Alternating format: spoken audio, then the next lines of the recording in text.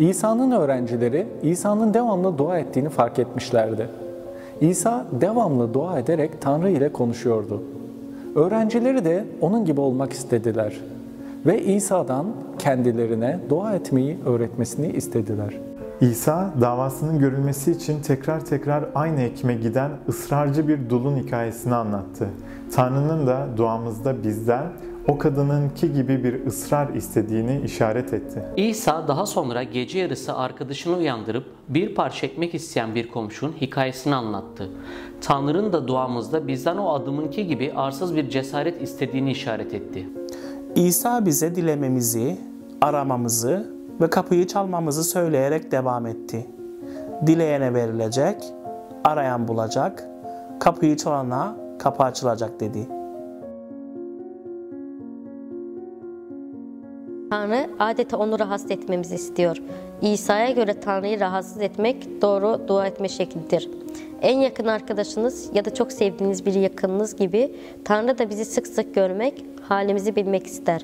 O bizi düşman olarak gören ya da umursamayan bir Tanrı değildir.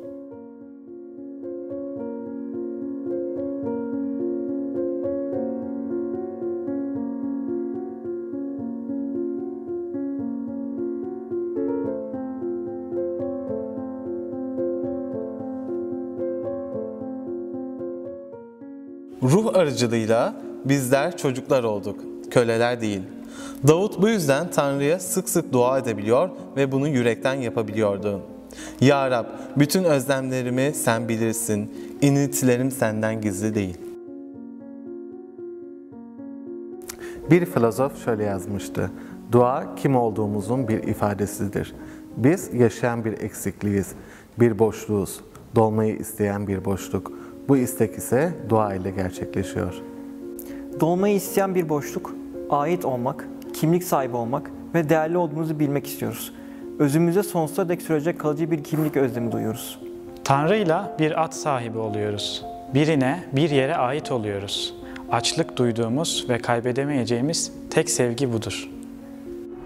Paulus şöyle yazıyor. Eminim ki ne ölüm ne yaşam, ne melekler ne yönetimler, ne şimdiki ne gelecek zaman, ne güçler, ne yükseklik ne derinlik, ne de yaratılmış başka bir şey bizi Rabbimiz Mesih İsa'da olan Tanrı sevgisinden ayırmaya yetecektir.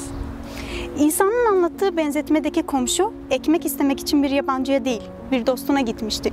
Bu hikayede dost Tanrı'dır. Ekmek ise yaşamı temsil eder. İnsan olmak aç olmaktır. Dileyene verileceğini bilmek iyidir.